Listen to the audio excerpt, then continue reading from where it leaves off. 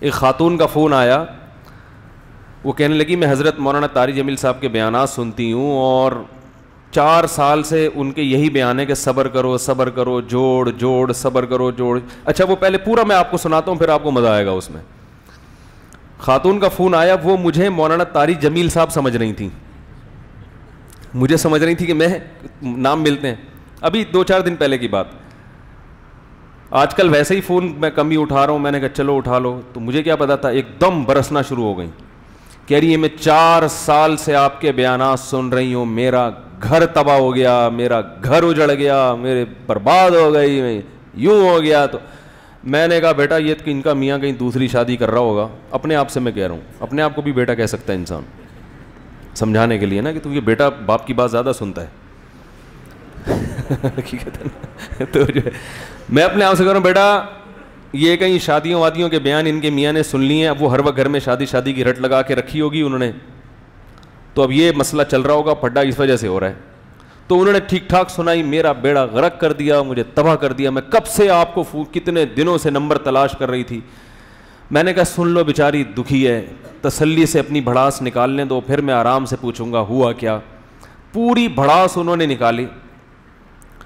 تو میں نے کہا وہ آپ کے میاں نے میرے شادیوں پہ بیانات سنے ہوں گے، اس وجہ سے آپ کہہ رہی ہیں نہیں نہیں شادیوں وادیوں پہ تو نہیں، وہ تو کرتے رہیں، مجھے اس سے کوئی وہ نہیں ہے۔ میں نے کہا پھر کہہ رہے آپ ہمیشہ جوڑ کی بات کرتے ہیں، برداشت کی بات کرتے ہیں، جوڑ، برداشت جوڑ، برداشت۔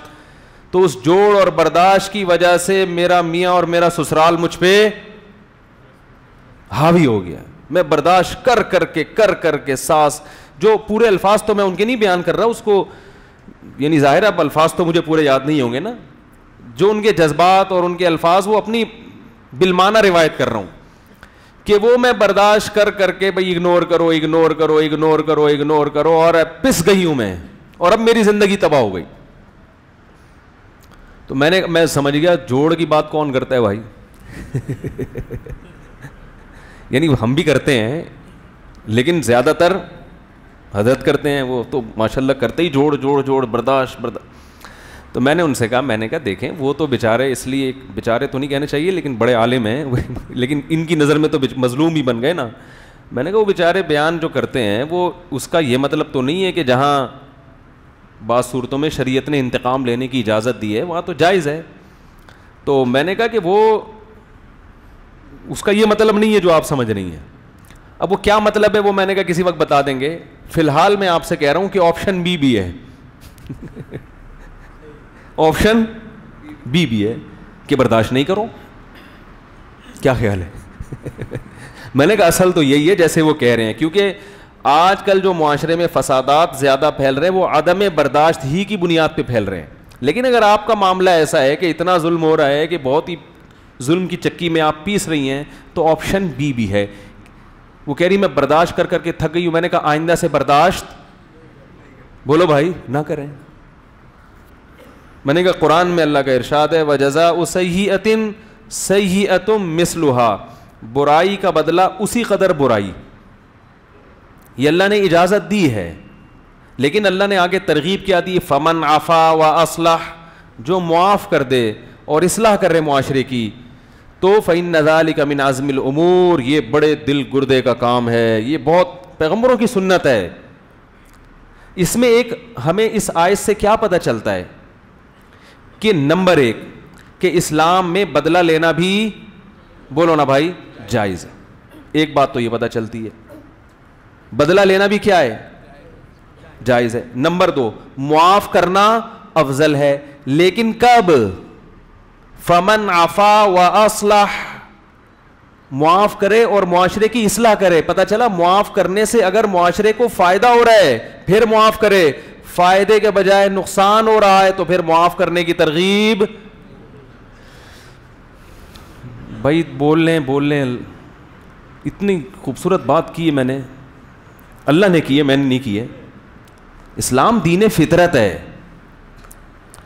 بعض دفعہ معاف کرنے سے فائدے کے بجائے کیا ہو رہا ہوتا ہے؟ نقصان ہو رہا ہوتا ہے۔ جیسے حدیث میں آتا ہے کہ اگر ایک صحابی نے پوچھا، یا رسول اللہ، مجھ سے اگر کوئی میرا مال چھیننے کی کوشش کرے، میں کیا کروں؟ فرمایا، نہیں دو۔ یا رسول اللہ، وہ مجھ سے لڑتا ہے۔ فرمایا، لڑو تم بھی۔ یا رسول اللہ، وہ مجھے قتل کرنے کی کوشش کرتا ہے۔ فرمایا، اس کو مار دو جان سے۔ آپشن؟ بولو بھائی۔ بھی۔ کیا کرو اس کو؟ مار۔ پھر نبی نے ترغیب دی، فرمایا، اس نے تمہیں اس لڑائی کے دوران قتل کر دیا تو تم شہید ہو۔ تم نے قتل کر دیا تو وہ جہنم میں۔ شہادت کا مرتبہ مل رہا ہے کس پہ؟ پھڈا کرنے پر۔ کیوں؟ یہاں معاف کرنا بھی جائز ہے۔ کئی ڈاکو چھیننے کے لیے آئے تو ضروری نہیں ہے کہ آپ لڑکے جان ہی دے دیں اپنی۔ ضروری نہیں ہے۔ لیکن ترغیب کس کی دی جا رہی ہے؟ کہ لڑو اپنے حق کے لیے۔ کیوں یہاں معاف کرنے میں اصلاح نہیں ہے، لڑنے میں اصلاح ہے۔ تم نے چھوڑ دیا، وہ آیا اور ایک دو پنچ لگائے اور مکہ بھی مارا اس نے اور بندوق بھی ہے اس کے پاس۔ قتل کرنا جب جائز ہے، جب بندوق سے آپ پر یعنی اسلحہ دکھا کے آپ سے لڑ رہا ہو۔ ویسے اگر مکے بازی ہے، پھر قتل کرنا جائز نہیں ہے کسی کو۔ بھائی اصل آپ کو پتا ہے نا کہ آپ مار بھی سکتا ہے آپ کو، تو دفاع میں آپ اس کو مار سکتے ہیں۔ تو یہاں معاف کرنے میں اصلاح نہیں ہے، یہاں انتقام لینے میں معاشرے کی کیا ہے؟ کیونکہ اگر ان لوگوں کو آپ چھوڑ دو گے، کل یہ کسی اور کا بٹوا چھینے گا۔ میں نیو کراچی میں امامت کیا کرتا تھا، وہاں کے لوگ جب کسی ڈاکو کو پکڑتے ہیں، تو اس ڈاکو کی شہادت سے پہلے اس کے تمام صغیرہ کبیرہ گناہوں کو معاف کرتے ہیں وہ۔ یہ ان کا اصول ہے۔ آپ چلے جائیں نیو کراچی میں۔ کوئی ڈاکو پکڑا جائے نا جس کے پاس بندوق ہو، تو وہ اس کے جتنے بھی کبیرہ اور صغیرہ گناہ ماضی میں علانیہ سرا ہاتھ سے گناہ کیے، زبان سے، آنکھوں سے، ہم جیسے دعا مانگتے ہیں نا اللہ میرے تمام صغیرہ گناہ، کبیرہ گناہ جو چھپ کے کیے، جو علانیتاً کیے ہو، جس کا تعلق حقوق لباس سے ہو، جس کا حقوق، سارے گناہ اس کے کیا ہوتے ہیں؟ کیونکہ حدیث میں آتا ہے مومن کو کانٹا بھی لگتا ہے تو اس کے گناہ معاف ہوتے ہیں۔ تو سوچو جب نیو کراچی والوں کی چترول لگتے ہوں گے اس کو، تو کانٹے سے جب گناہ معاف ہو رہا ہے، کیونکہ اس طرح مارتے ہیں، وہ اس طرح مارتے ہیں، میں نے وہاں خود دیکھا ہے کہ اس کو پھر مار مار کے نا ایک موٹر سائیکل چھیننے والا ڈاکو تھا، اس کو پکڑا۔ ہم بھی وہیں موجود تھے، اس کو لوگوں نے مار مار کے پتھروں سے جو جس کے ہاتھ میں آ رہا ہے مارا اس کو۔ اور جب پولیس آئی ہے تشریف لائی ہے پولیس کافی ٹائم گزرنے کے بعد۔ تو دیکھا کہ اس کی سانسیں چل رہی ہیں کہ نہیں چل رہی۔ ان کو یقین ہو گیا کہ یہ تھوڑی دیر میں اس کا انا للہ ہونے والا ہے۔ تو انہوں نے کہا کہ جب مکمل انا للہ ہو جائے تو ہمیں اطلاع، کیونکہ اب لے جا کے نہ ہسپتال لے جا سکتے اس کو۔ ٹھیک ہے نا؟ اور کچھ بھی ہو سکتا ہے نا؟ تو اب تو مار دیا۔ ویسے تو پولیس کوشش کرتی ہے بھائی ڈاکو کو چھڑوائے لوگوں سے، تاکہ جو بھی عدالت میں کیس چلے اس کے اوپر۔ لیکن جب پولیس والوں نے دیکھا کہ یہ تو اب مر گیا ہے اور اب انا للہ اس کا ہونے والا ہے، تو انہوں نے کہا انا للہ ہی کو ہونے دو پورا اس کا۔ تو وہ نتیجہ وہ پھر جب وہ ڈاکو کو مارا نا بہت زیادہ لوگوں نے، تو ایک صاحب میرے پاس آئے، ترس کھا رہے تھے ڈاکو پہ۔ کہنے لگے، مفتی صاحب، جمعے کا بیان کریں، بولیں لوگوں کو اللہ کا واسطہ، ایسا تو نہ کریں بیچارہ تو میں نے کہا، ایسا تو نہ کرو کہ اس کو بیچارہ کہو۔ اس کو بیچارہ تو نہ کہو۔ ایک موٹر سائیکل کے چکر میں کتنے لوگوں کی زندگیاں یہ چھین چکا ہوگا؟ کتنی جوان عورتوں کو بیوہ کر چکا ہوگا؟ کتنے بچوں کو یتیم کر چکا یہ ایک موبائل اور ایک بائک اور ایک گاڑی جو مال ہے، اس سے لوگوں کی جانوں سے کھیلتے ہیں۔ یہ لوگ قابل طرز ان کو معاف کرنے والا اس لائق ہے کہ اس کو چوک پہ لٹکا دیا جائے۔ جو ڈاکو کو پکڑ کے چھوڑ دینا میری گورنمنٹ ہو تو میں اس کے لیے قانون بناؤں گا کہ ڈاکو تو نہیں لٹکے گا، تو پہلے لٹکے گا۔ تو نے چھوڑا کیوں اس کو؟ لوگوں کی زندگی اسے کھیل، کھیلنے دے رہے ہو آپ اس کو۔ اس قسم کے جو مجرمین ہیں، قرآن ان کی معافی کی اجازت نہیں دیتا۔ ہاں ایک قرآن کہہ رہا ہے الدین تابو من قبل ان علیہم کیا عجیب آیات ہیں، کیسا قرآن ہمیں گائیڈ کرتا ہے، کیسا بہترین انداز سے تربیت کرتا ہے۔ فرمایا وہ ڈاکو کہ گرفتار ہونے سے پہلے توبہ کر لیں۔ کیسے پیارے الفاظ ہیں بھائی؟ ایک آدمی گن پوائنٹ پہ لوگوں سے موبائل چھینتا ہے، موٹر سائیکلیں چھینتا ہے، پیسے چھینتا ہے۔ پکڑا گیا، اللہ فرماتے اس کی توبہ دنیا میں قبول، آخرت کے لحاظ سے تو ہے، دنیا کے لحاظ سے توبہ قبول، نہیں اس کو سزا ملے گی۔ قابل معافی نہیں ہے یہ۔ حتیٰ کہ عجیب بات آپ کو بتاؤں، جو لوگ گن پوائنٹ پہ لوگوں سے مال چھینتے ہیں، جن کو قطع طریق کہا جاتا ہے فقہ کی اصطلاح میں، جن کی قرآن نے سزا بیان کی ہے کہ جب یہ گرفتار ہو جائیں تو ان کو حکومت بھی معاف نہیں کر سکتی اور جن لوگوں کا قتل کیا ہے نا انہوں نے، ان کے لواحقین بھی معاف نہیں کر سکتے۔ اگر قرآن میں ہر جگہ معافی معافی ہی ہوتی، بس معاف کرنا ہے، معاف کرنا ہے، تو قرآن ان سے معافی کا آپشن سو فیصد ختم۔ یعنی گورنمنٹ کو اجازت نہیں ہے معاف کرنے کی ایسے ڈاکو کو۔ اسی طرح اس ڈاکو نے کسی کو قتل کر دیا ڈکیتی کے دوران۔ تو جو مقتول کے جو وارثین ہیں، وہ بھی اس کو معاف۔ اگر معاف کر دیں تو بھی اس کو لٹکایا جائے گا۔ مشکل ہے بھائی۔ یہ آپشن بولو بھائی، یہ کون سا آپشن ہے؟ یہ بی آپشن ہے۔ یہ والا بھی ہے اسلام کا ایک رخ۔ کیونکہ اسلام نے نہ کیونکہ اس کو قتل کیا جائے گا بطور حد کے، بطور قصاص کے نہیں، بطور حد کے۔ حد کہتے ہیں جس جو اللہ کا یعنی جو اللہ سزا لے رہا ہے، اس میں اللہ حکومت کو محض وکیل بنا رہا ہے، متولی بنا رہا ہے کہ سزا تو میں لے رہا ہوں، تم صرف ذریعہ بن رہے ہو، تمہیں معاف کرنے کی اجازت نہیں ہے۔ جیسے زانی کا زنا چار گواہوں سے ثابت ہو جائے، تو گورنمنٹ کو معاف کرنے کی اجازت بولو بھائی، نہیں ہے۔ شادی شدہ مرد زنا کرے اور گواہوں سے عدالت میں ثابت ہو جائے تو عدالت کو معاف کرنے کی یا گورنمنٹ کو معاف کرنے کی اجازت نہیں ہے۔ ویسے آپ کسی کو قتل کر دیں تو مقتول کے ورثہ کو معاف کرنے کی بھی اجازت ہے اور قصاص لینے کی بھی اجازت ہے۔ لیکن ڈکیتی کے دوران اگر کوئی کسی کو قتل کر دے، ڈکیتی عام قاتلوں سے الگ چیز ہے۔ ایک تو ہے آپ کا کسی سے ذاتی جھگڑا چل رہا ہے۔ آپ نے بندہ مار دیا۔ تو اسلام کیا کہتا ہے بھائی؟ جس کا بندہ مارا ہے، اس کے وارثین کو لایا جائے۔ حکومت قاتل کو پکڑ کے وارثین کے حوالے کرے گی۔ یہاں بھی گورنمنٹ کو معاف کرنے کی اجازت، کیونکہ گورنمنٹ کا بندہ تھوڑی مارا ہے۔ ہمارے ملک میں گورنمنٹ بھی صدر کی اپیل پر پھانسی کی سزا کیا کر دی؟ بھائی، صدر کا آدمی تھوڑی مارا ہے، جس کے، جس کا عورت کا شوہر مارا ہے، اس عورت سے پوچھو کہ معاف کرے گی کہ نہیں کرے گی۔ گوروں کے قوانین ہم نے مسلط کیے ہوئے اپنے اوپر، جن کی کوئی سینس بنتی نہیں ہے۔ تو جس کا بندہ، جس کا بیٹا مارا ہے تو باپ کو ہے نا، باپ کو حکم ہے کہ وہ معاف کرے یا نہ کرے۔ بھائی کو مارا تو بھائی اور باپ اس کے والی وارث ہیں۔ تو قصاص الگ چیز ہے اور حد۔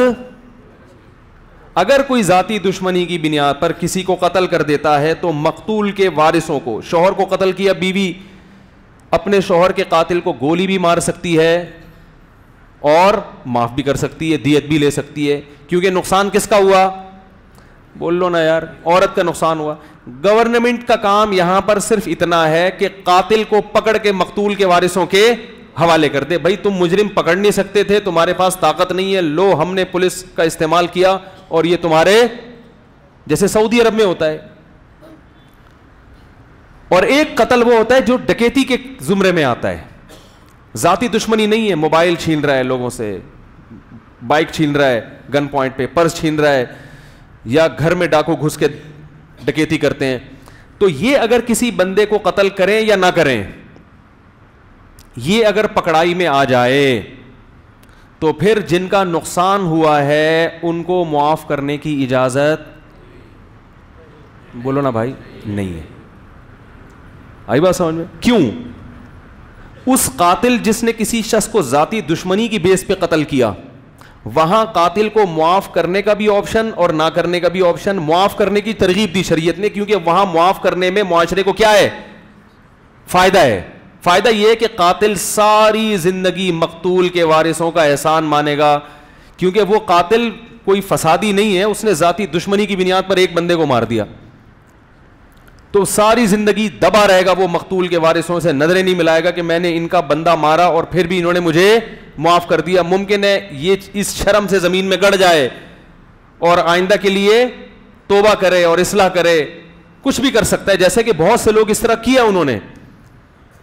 لیکن جو آدمی موبائل چھیننے کے لیے بندے مار دیتا ہے، اور یہ آدمی کو اگر آپ معاف کریں گے، گورنمنٹ معاف کرے گی تو گورنمنٹ کا تو کچھ بگڑا ہی نہیں ہے نا۔ تو یہ کہے گا گورنمنٹ کا میں نے کچھ بگاڑا تھوڑی ہے۔ جو اس نے مجھ پہ معاف کر کے احسان کیا۔ احسان تو مانے گا، لیکن اس کو پتا ہے کہ حکومت کا تو کچھ جا تھوڑی رہا تھا۔ آپ کہہ سکتے ہیں عوام کا سرمایہ حکومت کا تو ہوتا ہے، یہ غلط ہے۔ حکومت کے جتنے سرمایہ مال ہیں، وہ عوام کے ہوتے ہیں، حکومت کے نہیں ہوتے۔ بھائی گورنمنٹ اگر آپ کو کچھ دیتی ہے تو اپنی جیب سے تھوڑی دے ہوتی ہے وہ۔ وہ تو ہمن سے ہی ٹیکس لے کے ہم کو دے رہی ہوتی ہے۔ جیسے یورپ میں بوڑھوں کا کی بڑی کیئر کی جاتی ہے۔ اولڈ ہوم میں پیسے دیے جاتے ہیں۔ تو گورنمنٹ اپنی جیب سے دے رہی ہے وہ پیسے۔ لوگ کہتے ہیں وہاں کی گورنمنٹ بہت اچھی ہے۔ اس لحاظ سے اچھی ہے کہ ایک نظام کو مینج کیا ہوا ہے۔ لیکن وہی پبلک سے لے کے بوڑھوں پہ دے رہی ہے۔ اور اسلام کیا کہتا ہے کہ جس کا بوڑھا ہے، بیٹا اس پہ خود خرچ کر لیں۔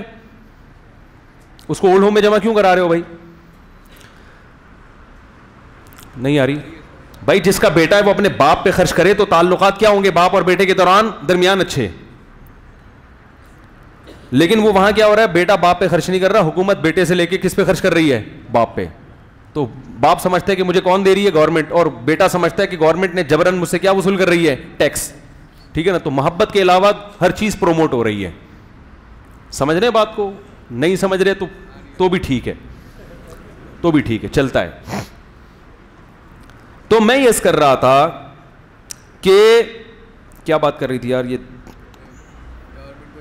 ہاں یہاں ڈاکو کو معاف کرنے کی اللہ نے حکومت کو بھی اجازت نہیں دی اور ڈکیتی کے دوران کسی کا انتقال کوئی قتل ہو گیا تو یہ نہیں ہے کہ حکومت مقتول کے وارثوں سے پوچھے گی کہ بتاؤ معاف کرنا ہے یا سزا دینی ہے، شریعت میں اس کی اجازت نہیں ہے۔ اللہ کہتے ہیں، یہاں معافی کا آپشن نہیں ہے۔ گرفتاری سے پہلے توبہ کر لیتا تو معافی کا آپشن تھا۔ اور توبہ بھی ایسی ہو کہ اس کے حالات سے لگے کہ واقعی توبہ کی ہے۔ یہاں بھی اللہ نے یہ نہیں کہا کہ بس اچھا گمان رکھو، بھائی توبہ کر لی ہوگی، چھوڑ دو اس کو۔ نہ نہ۔ دلوں کے حالات اللہ کے سوا کوئی نہیں جانتا، کیونکہ یہ ایک مجرم ہے ریاست کا۔